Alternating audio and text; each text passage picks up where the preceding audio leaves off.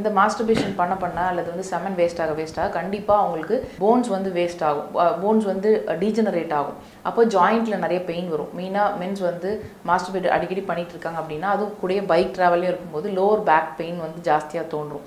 அடுத்தது left நீலேருந்து pain ஆரம்பிச்சு எல்லா ஜாயிண்ட்டுமே வந்து தேஞ்சு போகிறதுக்கான வாய்ப்புகள் இருக்குது இதுக்கு அடுத்தது வந்து பார்த்தீங்கன்னா அவங்களுக்கு மசில் வேஸ்டிங் இருக்கும். ஏன்னா இந்த போன்லேருந்து ஒரு சில சத்துக்கள் எடுத்ததுக்கப்புறம் நம்மளோட ஃபேட்லேருந்து நமக்கு வந்து எனர்ஜி கொஞ்சம் கொஞ்சமாக எடுக்க ஆரம்பிக்கும். அடுத்தது மசில் வந்து வந்து நம்ம எனர்ஜி அப்போ மசில் எல்லாமே போயிடும். அப்போ ஃபேட் வந்து நிறைய டெபாசிட் ஆக ஆரம்பிக்கும். அடுத்தது வந்து பார்த்தீங்கன்னா ஃபைனலாக பிளட்டு வந்து பார்த்தீங்கன்னா அவங்களுக்கு நியூட்ரியன்ட் வந்து குறையும் போது ரத்தத்துலேருந்து அது சத்துக்களை வந்து உறிஞ்சி உறிஞ்சி ஃபைனலாக வந்து அவங்களுக்கு கண்ணெல்லாம் இருட்டுற மாதிரியான ஒரு நிலை ப்ளஸ் நரம்புகள் வந்து தளர்ச்சி அடையும் போது படப்படப்பு பால்பிட்டேஷனு கை நடுக்கம் இந்த மாதிரியான பிரச்சனைகள் ஏற்படும். இப்போ நிறைய டாக்டர்ஸ் வந்து மாஸ்டர்பேட் பண்ணுறதுனால பிரச்சனை இல்லை ஒரு நாளைக்கே நாலு தடவை கூட மாஸ்டர்பேட் பண்ணிக்கலாம் அப்படின்னு சொல்கிறவங்க அவங்களோட பயனாக இருந்தால் அப்படி சொல்லுவாங்களா அப்படிங்கிறத நீங்கள் யோசிங்க ஜென்ரலி